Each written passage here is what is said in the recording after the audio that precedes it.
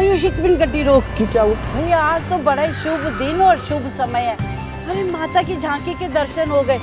चलो चलो हम सब भी शामिल होते हैं आ जाओ। अरे नानी वो तो ठीक है हम शादी के लिए जा रहे हैं लेट हो जाएँगे यार।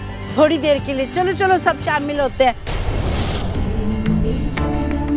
आ जाओ आ जाओ।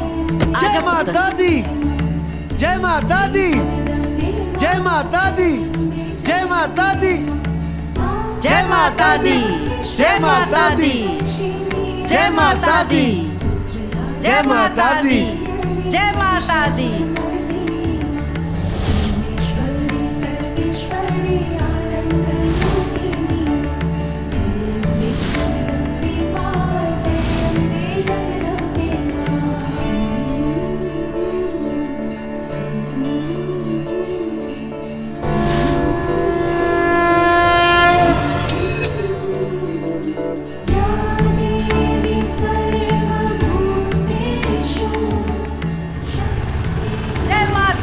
जय माता दी जय माता दी जय माता दी जय माता दी जय माता दी जय माता दी जय माता दी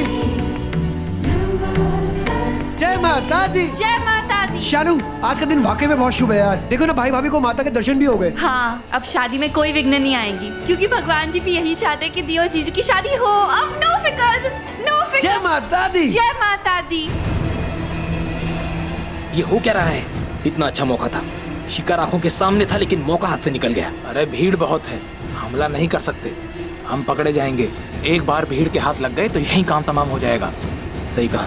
एक काम करते हैं हम मंदिर चलते हैं। मैडम ने कहा था कि वो मंदिर जाने वाले हैं शादी करने के लिए। तब उसे वही मारेंगे। इतनी बड़ी रकम हाथ से नहीं जाने दे सकते। वहीं खत्म करेंगे इसको। इस बार मैं उसे मारूँगा अपनी बंदूक से। ठीक है। चल हम उनसे पहले मंदिर पहुँचते हैं और जाके तैयारी करते हैं। चल। चल चल।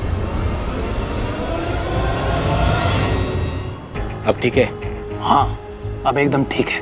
जैसे ही वो लोग फेरा लेने के लिए खड़े होंगे तभी मैं गोली चला दूँगा। और साइलेंसर?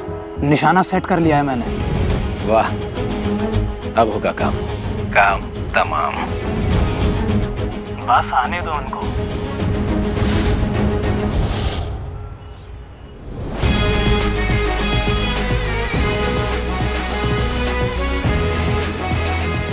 आगे आओ।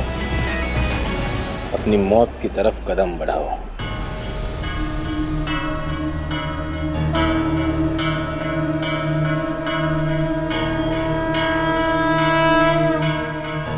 सबसे पहले इनका आशीर्वाद लेते हैं। इन्होंने तुम लोगों को यहाँ तक पहुँचाया है। अब तक साथ दिया है। आगे भी यही तुम्हारा साथ देंगे। और तुम दोनों की हिफाजत भी करेंगे।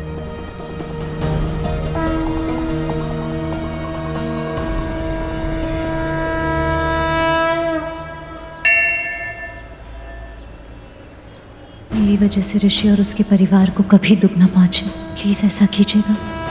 थैंक यू भगवान जी। आपने मेरी रिक्वेस्ट मान ली। लक्ष्मी को मेरा बना रहे हो। मैं भी अपना प्रॉमिस पूरा करूँगा। मैं लक्ष्मी को हमेशा खुश रखूँगा। हमेशा।